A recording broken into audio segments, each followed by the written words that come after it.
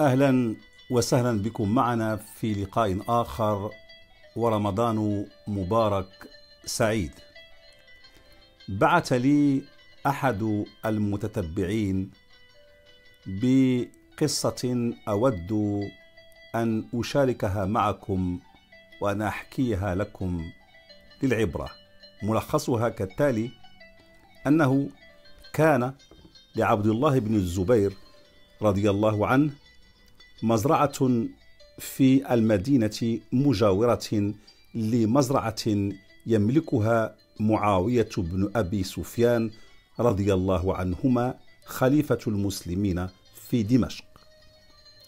وفي ذات يوم دخل عمال مزرعة معاوية إلى مزرعة ابن الزبير وقد تكرر منهم ذلك في أيام سابقة فغضب ابن الزبير وكتب لمعاوية في دمشق وقد كان بينهما عداوة قائلا في كتابه من عبد الله بن الزبير إلى معاوية أما بعد ابن هند آكلة الأكباد فإن عمالك دخلوا إلى مزرعتي فمرهم بالخروج منها أو فوالذي لا إله إلا هو ليكونن لي معك شأن.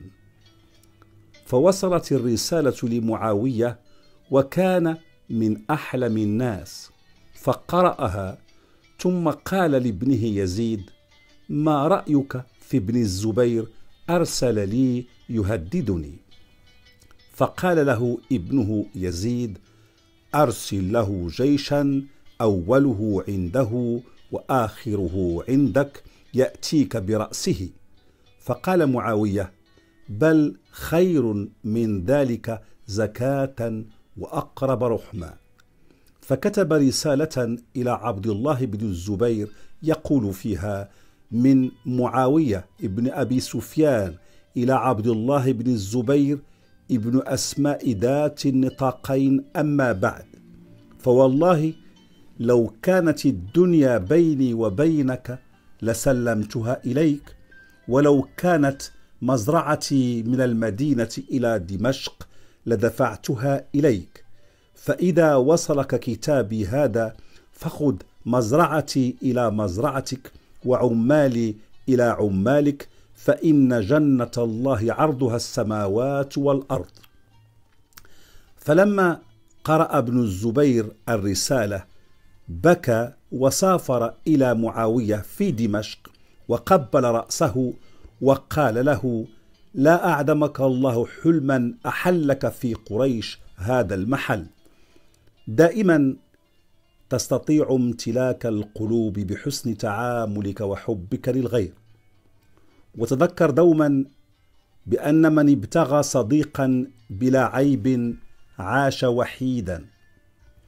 ومن ابتغى زوجة بلا نقص عاش أعزبا.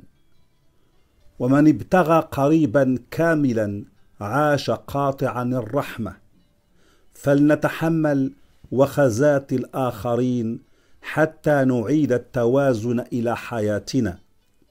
إذا أردت أن تعيش سعيدا فلا تفسر كل شيء ولا تدقق بكل شيء ولا تحلل كل شيء فإن الذي حللوا الألماس أو الذين حللوا الألماس وجدوه فحما لا تحرص على اكتشاف الآخرين أكثر من اللازم.